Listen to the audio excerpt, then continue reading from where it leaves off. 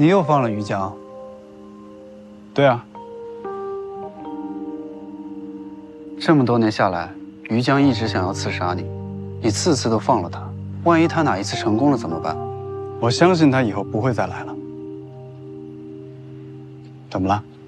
当年那些刺杀小妖的人，一个都不肯放过，无论多难都要赶尽杀绝。如今面对刺杀自己的人，竟如此宽容。不一样，哪里不一样？我愿意忍受委屈，承受磨难，就是为了让小妖能过上没有委屈、没有磨难的日子。你啊，如此护短，难怪你身边的人个个都忠心耿耿，连我亦无法幸免。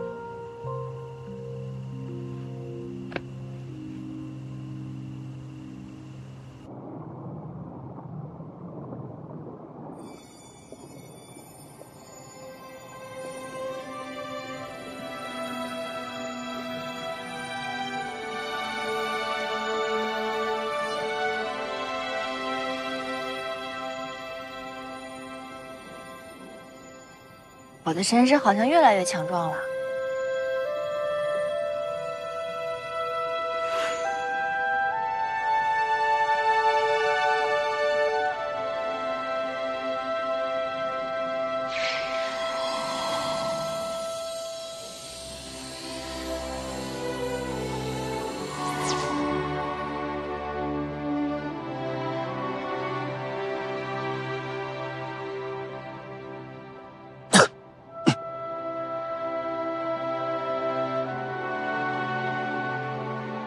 小瑶，希望你醒来以后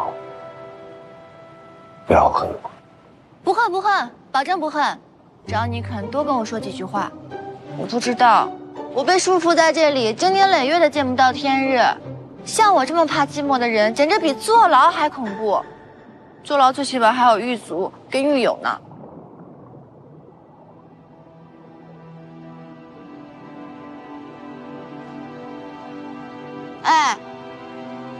是不是变成哑巴了？好不容易来一次，还经常一句话都不说。要是再不说话，我就恨你，恨你！就算你救了我，我也要恨你。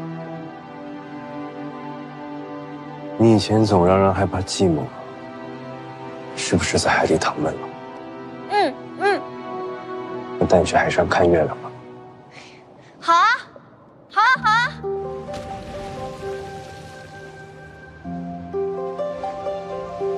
今夜是上弦月，像一把弓。每次满月时，我都要跟你疗伤，不可能带你到海上来。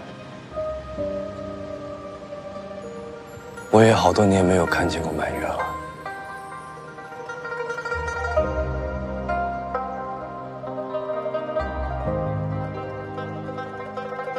好多年，经过去这么多年了吗？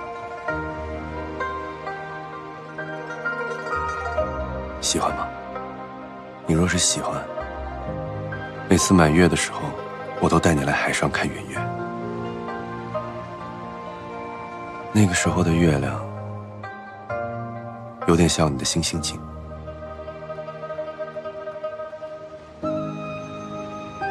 你偷偷记忆在星星镜里的事，你怎么知道的？等你醒来后，星星镜里的记忆必须消除。这个好商量，只要你不生气，把星星镜毁掉都可以。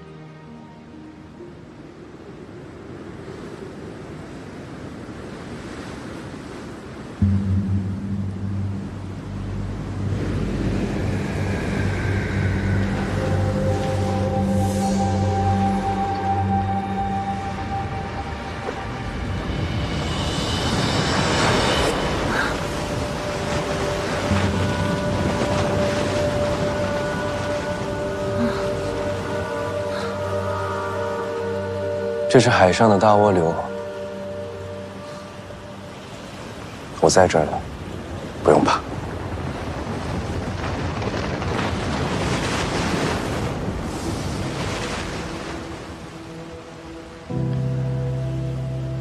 我从奴隶死斗场里逃出来时，满身都是伤，差点死在涡流中。是义父救了我。那时陈荣国还没有灭亡，义父在陈荣国是和严传赤诚齐名的大将军。他为了救我这个逃跑的妖奴，却被我刺伤。可他却毫不介意，竟以德报怨，传授了我疗伤功法，还说要带我去找陈荣王医治。可我不相信他，又逃了。后来呢？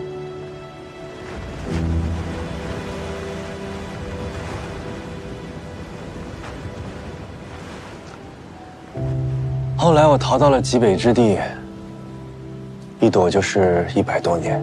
极北之地的雪，不但救了我的命，还让我心生感悟。从义父传我的疗杀功法中，自创了一套修炼功法。怪不得你每次施展灵力的时候，都好像要下雪，连杀人都美得如雪花飞舞。外人总觉得我穿一身白衣，是因为有什么癖好。其实，不过是想要活下去的一个习惯而已。在冰天雪地的极北之地，白色是最容易隐匿的颜色。你离开极北之地之后发生了什么？你怎么不说话了？说，说话，说啊！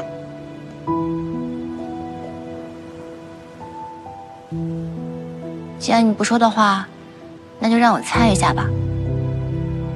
陈荣跟夕颜爆发大战，陈荣国灭，洪江落魄，身边的亲朋好友都离洪江而去，而某个九头妖为了报恩，主动送上门去。本来只是想了结这一段恩情，可没想到被洪江看中，收为义子。恩义长，情却难还。这么说下来，我都有点讨厌洪江了。若没有他，你就不会是如今的身份，也不会负担陈荣的重担，更不会跟我哥哥为敌了。怎么皱眉了？不高兴了？那我给你变个戏法吧。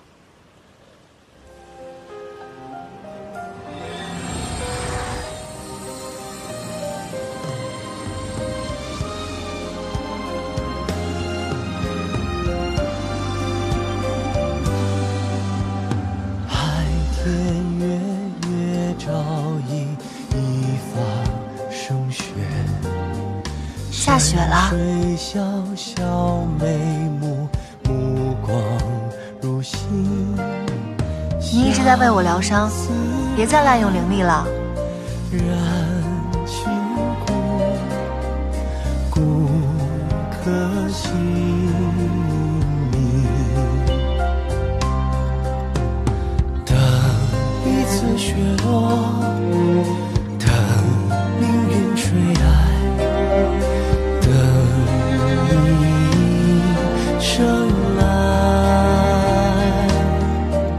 算了，你的灵力，你想怎么用就怎么用吧。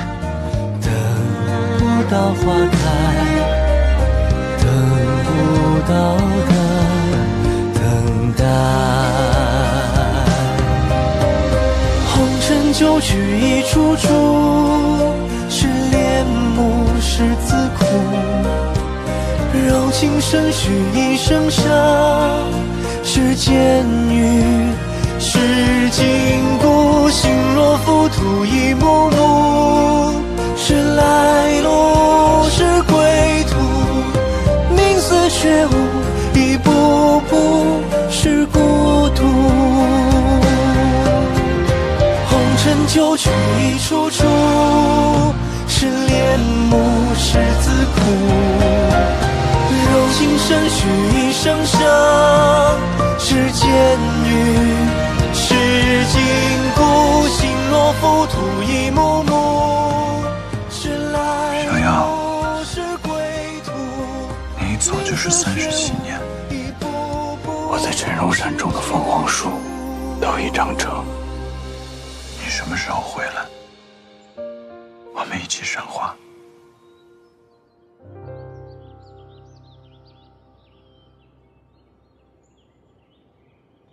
苍玄，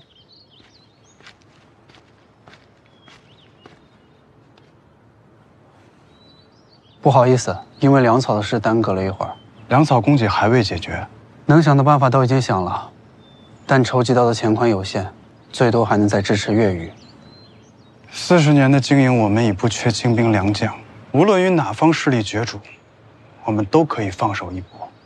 但粮草供给确实是个大问题。因为涂山侯，我们在宫殿账目上能动的手脚已经越来越少，真不知道哪里还能挪出钱来。景最擅长经营，如果他在的话，这些就都不是事了。涂山璟最近的身体状况如何？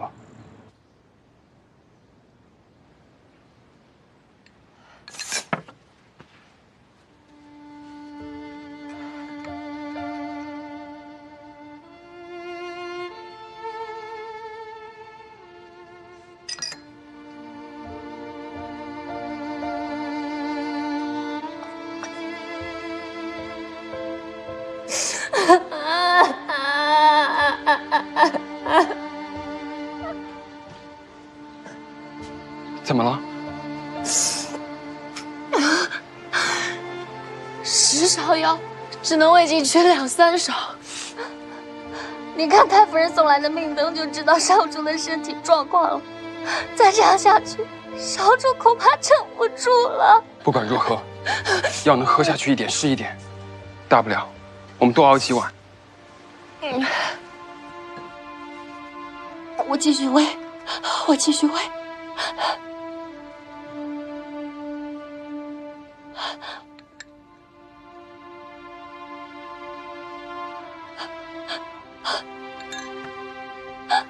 你说少主为什么就不想活了呢？最近有号令大王姬的消息吗？应该是没有。这么大的事，陈荣府里应该会有动静。希望那位王姬早日平安，不然少主恐怕你说什么？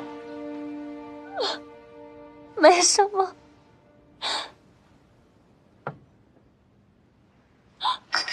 少主，少主，主，少主，少主，少主。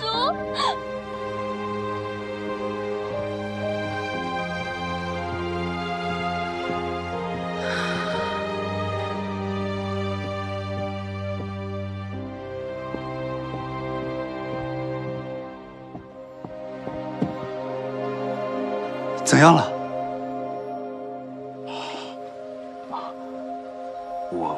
我等也是无能为力。涂山少主已是油尽灯枯之相，怕是熬不过几日了。与我给少主的诊断一样。西景哥哥，怎么会这样？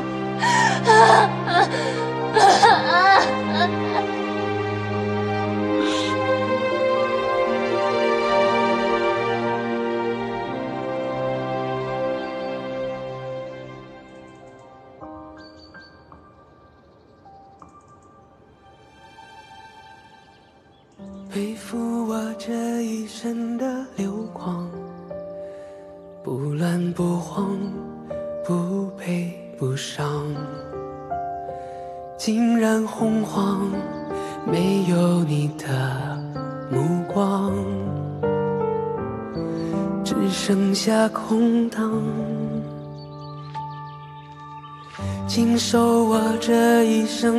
风霜。不争不抢，不失不忘，静穆骄阳，没有你的阳光，空气只留下热浪。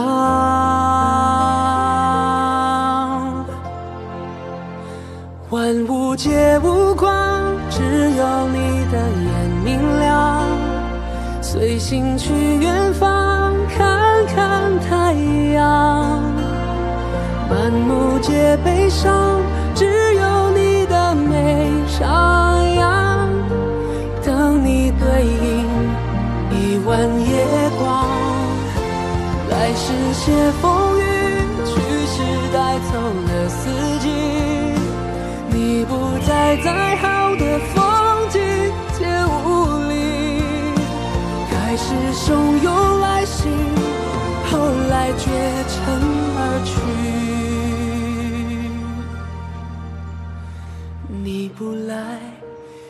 小妖呢？等你答应了我的条件，小妖自然就能回来。这么说，小妖已经好了。你想要什么？我要一座陈荣山的山峰。什么意思？所有跟随洪江的战士，都因为难忘故国，可颠沛流离，空纵一生。即使战死，都难以回到故国。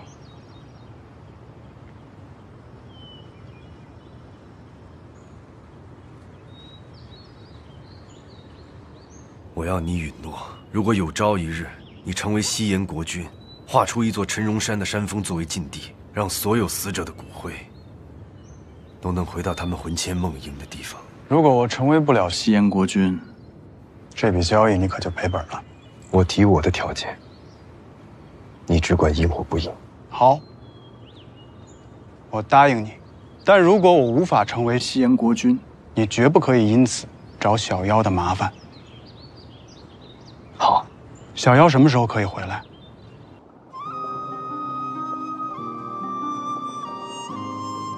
几十年过去了，苍玄还会隔三差五的送东西来，可是涂山璟却不闻不问的。人心易变，涂山璟也许早就娶了防风一影，没准孩子都有了。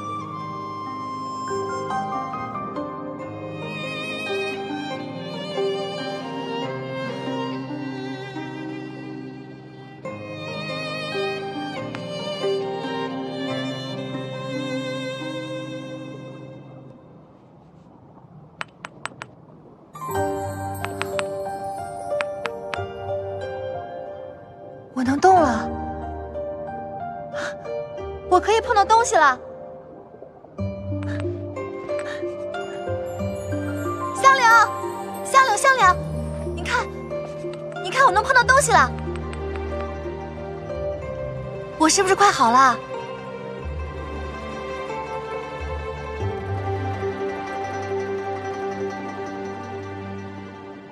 你怎么了？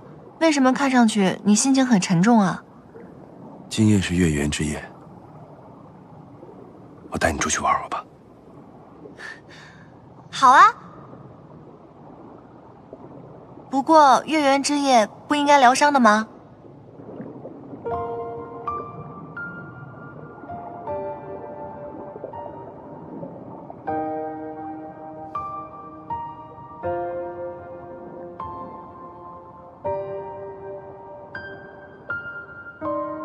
拿，那只玳瑁，比你在清水镇睡的那张榻吧。你若喜欢，日后可以用玳瑁做一张榻。我喜欢，我喜欢。你把那个玳瑁给我放进贝壳里，做个榻吧。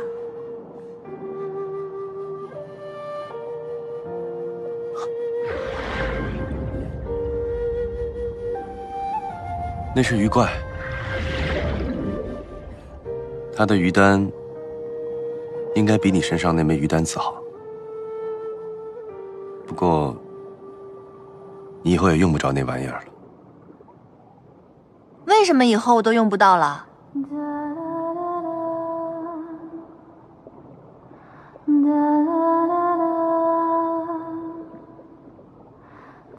这是什么声音？真好听啊！夏柳，我们靠近一点去听听吧。鲛人又到发情期了，那是他们求我的歌声。啊，那就不去打扰他们了。据说，鲛人的歌声是世间最美的歌声，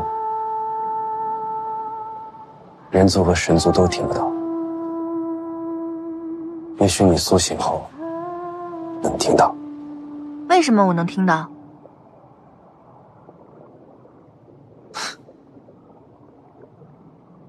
可惜，听不到鲛人定情后的合唱。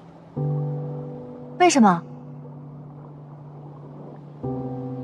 此时必须要回去疗伤。没关系，下次还有机会。等下次你再带我出来玩吧。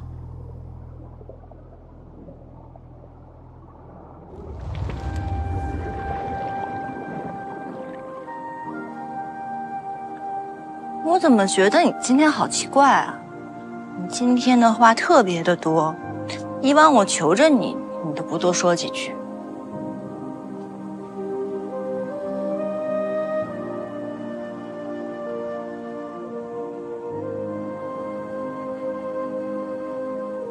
你能看到我？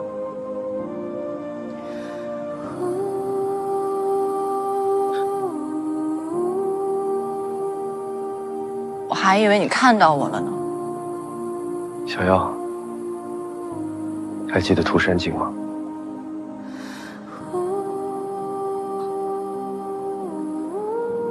当然记得了，那是文小六的叶十七，怎么可能忘？我记得他，他不见得记得我。涂山氏的族长，怎么可能是叶十七呢？自你昏睡后，涂山璟也一直昏迷不醒，但如今已经快支撑不下去了，他快死了。涂山璟昏迷不醒，怎么回事？小妖，如果涂山璟死了，你会不会很伤心，恨我入骨？我不要璟死，可是我为什么会恨你？是你救了我呀，相柳，相柳，相柳。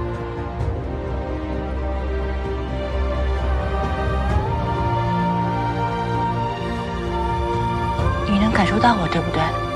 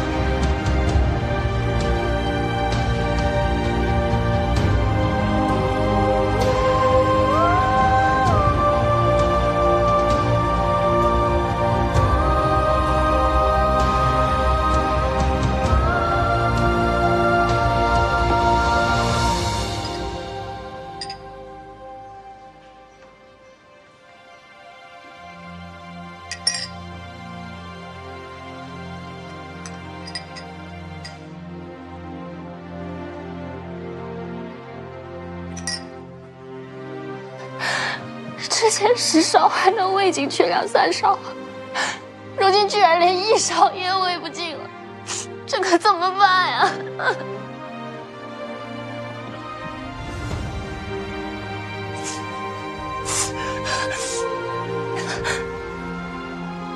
少主体内的神气已经所剩无几，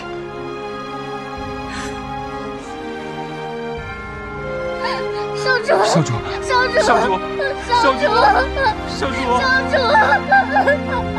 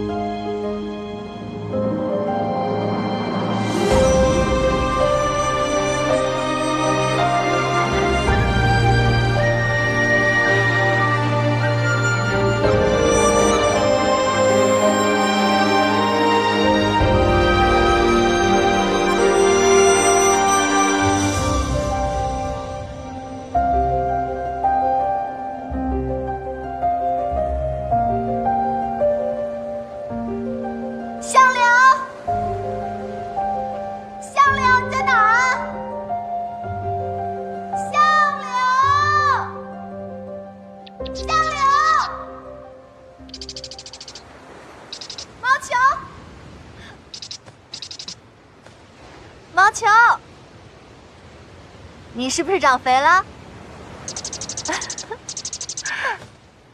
不逗你了，你是那个最英俊的鸟儿。你的主人呢？我怎么没有看到他？向柳让你带我去见他。向柳让你送我回去。他不想见我吗？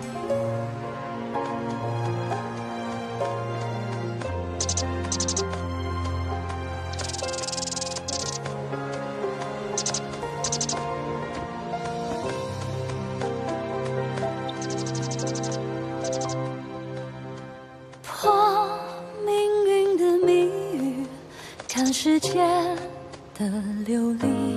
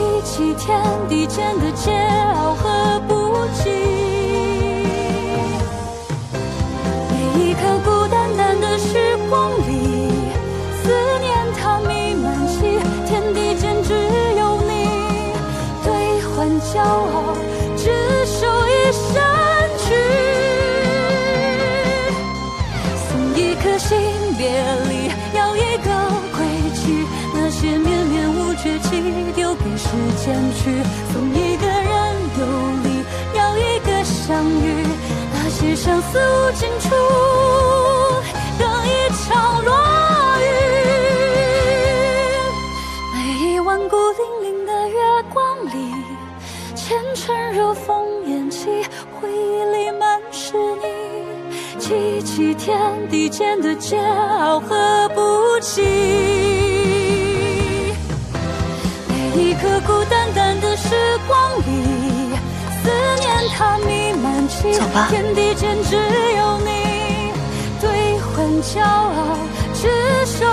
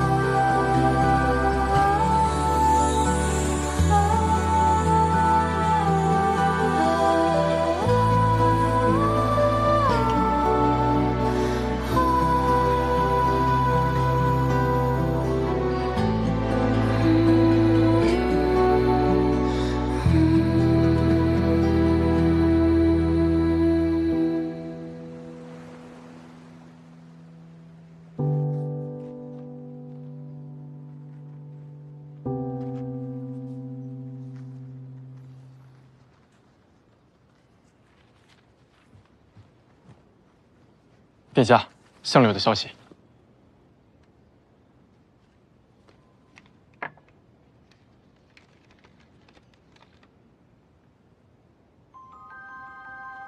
殿下，是有王姬的消息了吗？小瑶马上要回来了。君夜，你去吩咐一下，让守山门的侍卫一有小瑶的消息，立马上报。是。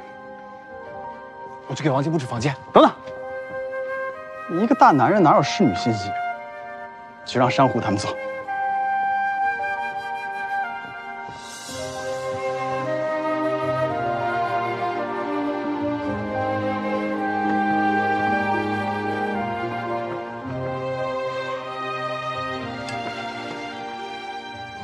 殿下不是说，男人没有侍女细心吗？怎么转头自己开始忙活起来了？苗圃，殿下，我记得这个花瓶应该是一对儿的呀，你去找找。是。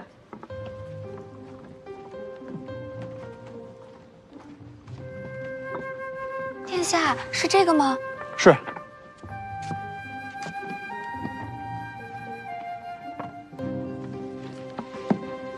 一个花瓶看着孤单，这样成双成对的，兆头才好呢。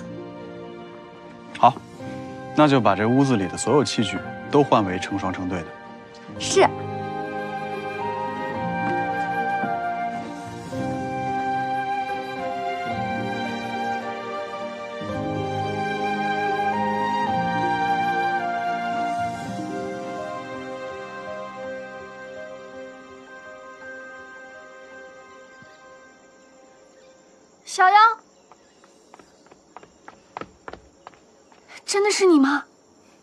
难道还是别人变换的吗？谢天谢地，你可算是平安归来了。别担心了，我哥哥可好？一切都好，唯一挂虑的就是你。你还没去见过苍玄？之前苍玄见你伤势有所好转，派人送你回浩陵静养。我还以为你回来后是先去了陈荣山再来看我。我本来是想先去陈荣山见哥哥的，可是我听说景病重，我想去一趟青丘去看看景。你能陪我一起去吗？你来找我算是找对了。景哥哥不在青丘，他就在陈荣府。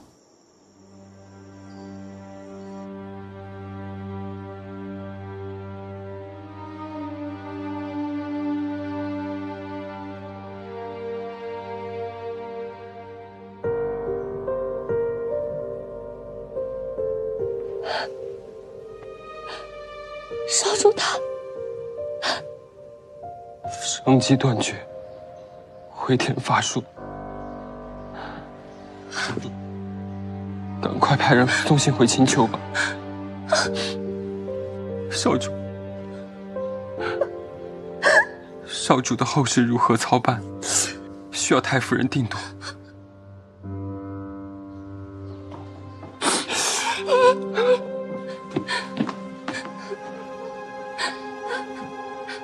景哥哥，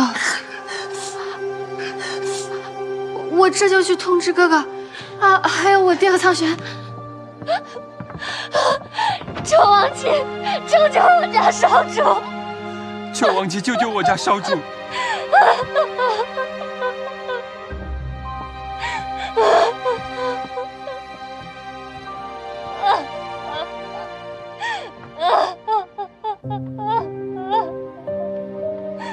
少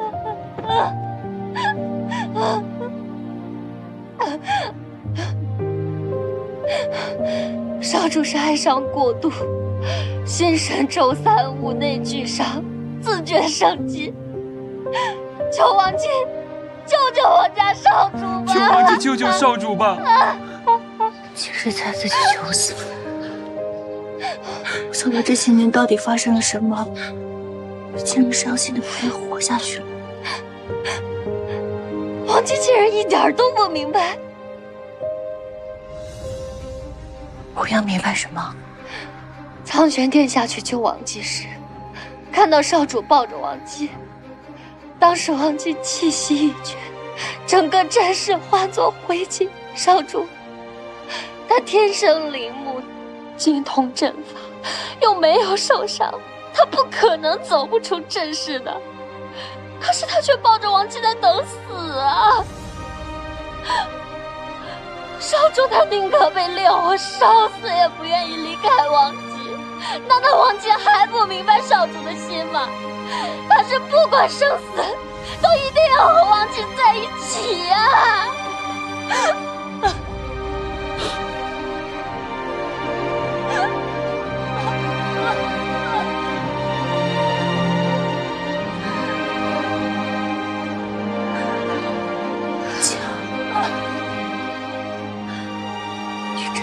是因为我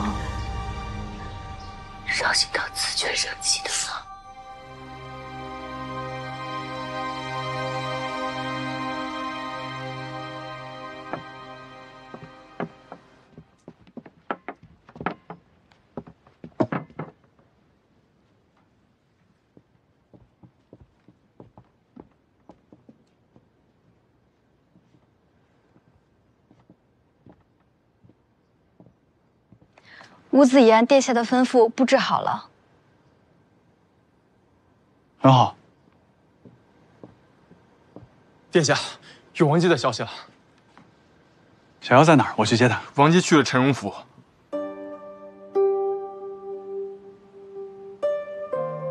罢了，小妖能平安回来就好。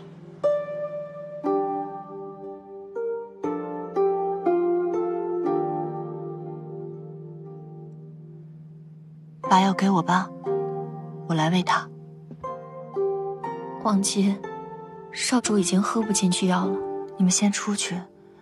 如果我不行的时候再喊你们，可以吗？有劳王姬了。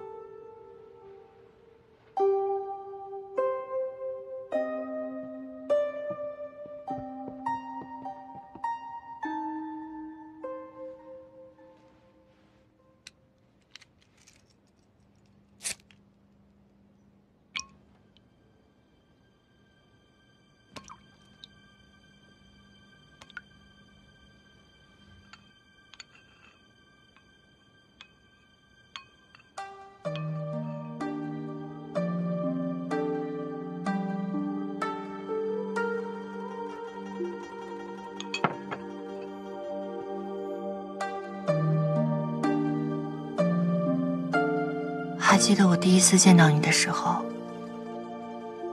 虽然你受了很重的伤，可你仍然有求生意志，喉咙明明伤的也很重，不管拖延多么艰难，可你总在极力的配合我。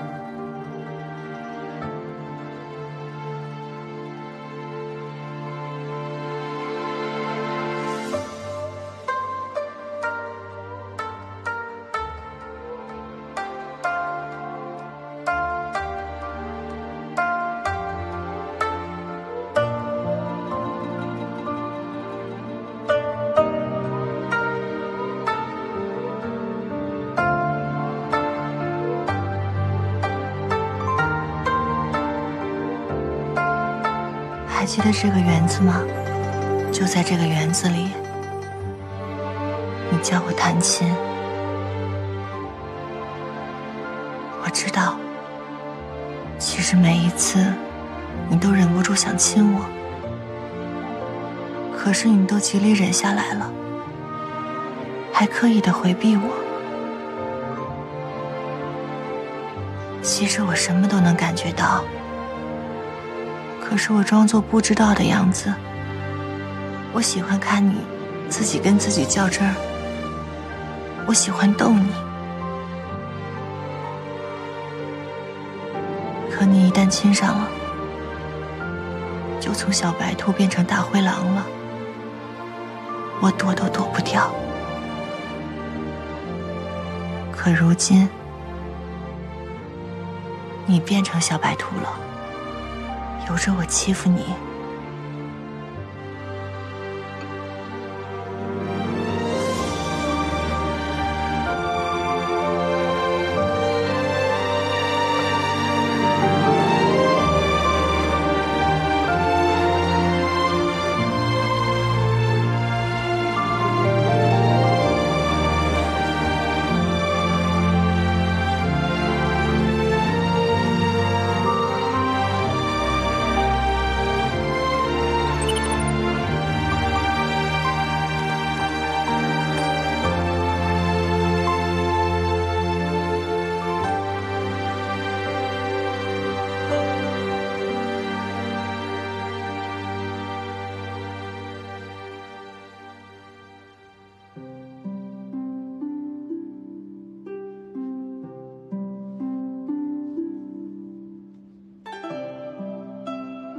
快点醒来好吗？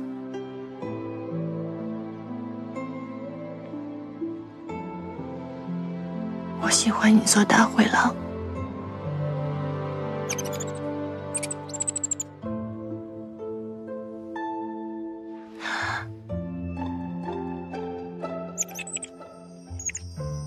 你什么时候跑出来的？在这里偷偷的看。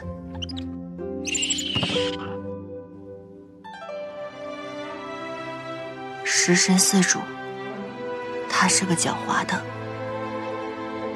你也好不到哪儿去。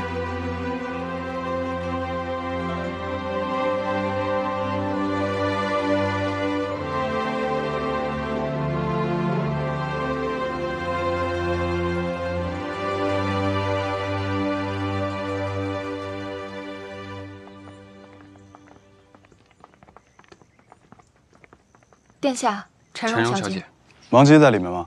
是，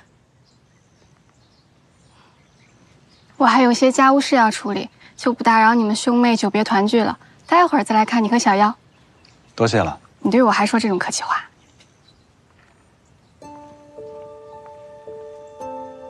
殿下，王姬在休息，奴婢去禀报一声。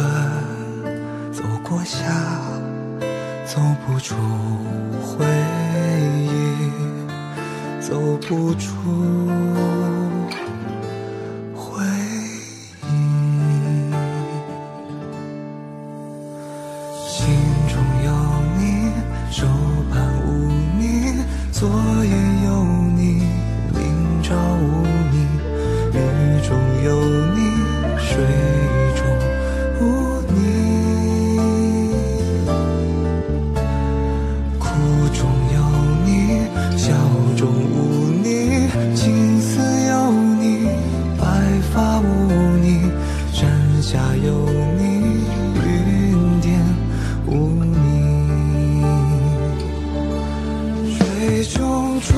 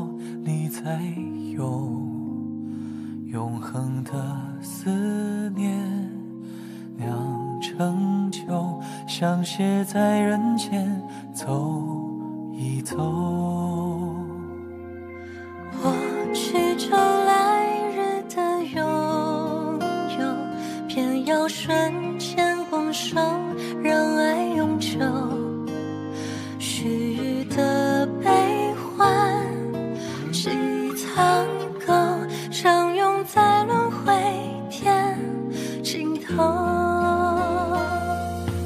隐去了可解